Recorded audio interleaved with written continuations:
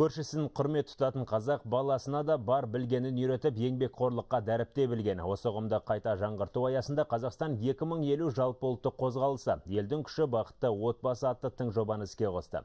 Мақсат ата-ана мен баланың және көршілердің етене араласу арқылы оларды рухани үндестікке шақыру. Қазір заманға сай адамдар жұмыс басты. Көрші тұрмақ балаңа көңіл бөлуге уақыт жетпей жатады. Бұл келеңсіз жағдайды түзету мақсатында елімізде елдің күші бақытты отбасы атты жоба өз жұмысын бастады. Ежелден белгілі мақал бар ғой, ананың көңілі балада, баланың көңілі далада деп.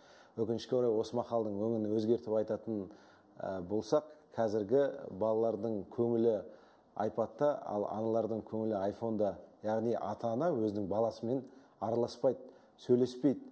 Көрші ақысы тәңір хақысы деген деп тәмсілдейтін біздің халқымыз өзінің іргеде жапсарлас жатқан көршісін танымайды бір бірімен араласпайды. Жоба бірден сол осы олқылықтың орнын жүз пайызға толтырмаса да адамдарға ой тастайды.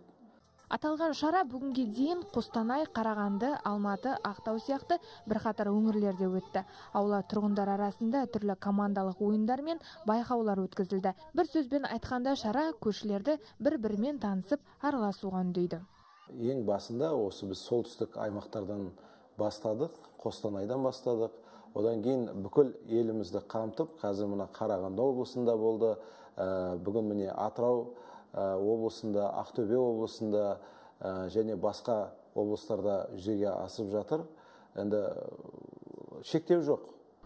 Қазақстан 2050 стратегиясында халқы бай әрі бақытты өмір сүретін бай қуатты елге айналу көзделген. Бұл үшін мемлекет отбасы институтын нығайтып, ортақ түйткілдердің түйінін бірігіп шешіп, өмірді жақсы жағына өзгертуге тырысуы қажет. Оны жүзеге асыру үшін адамдар арасындағы қарым-қатынасты нығайту шарт. Ал елдің күші бақытты отбасы жобасын көздеген мақсаты да осы. Даналдан қызы Қаната Астана